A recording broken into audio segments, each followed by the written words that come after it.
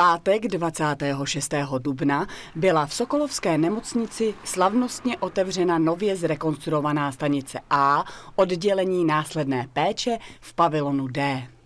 Opravy za 23,5 milionu korun, trvající zhruba půl roku, probíhaly za provozu.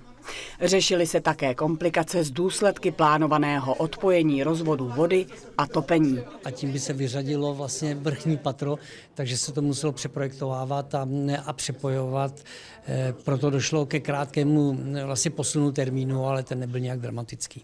Oddělení již podle názvu napovídá, že se zde léčí především pacienti po operacích, ale není to jediné kritérium. Léčíme pacienty, kteří mají akutní onemocnění a je třeba je nějaký dolečený, aby získali, nebo aby se zlepšila soběstačnost samozřejmě a museli, mohli se vrátit domů, ale bohužel taky musíme se starat o pacienty v terminálních fázích eh, různého onemocnění, eh, tak aby jsme, aby ten odchod byl důstojný, aby prostě měli vše, co můžeme jim eh, poskytnout. Spolu s modernizací prostor v druhém nadzemním podlaží s kapacitou 27 lůžek v celkem deseti pokojích bylo myšleno i na personál, který získal odpovídající zázemí. Větší komfort pro pacienty, eh, lepší zázemí i pracovní podmínky pro pečující personál. Kromě nově vybavených pokojů, kam se brzy nastěhují zpět pacienti i lůžka,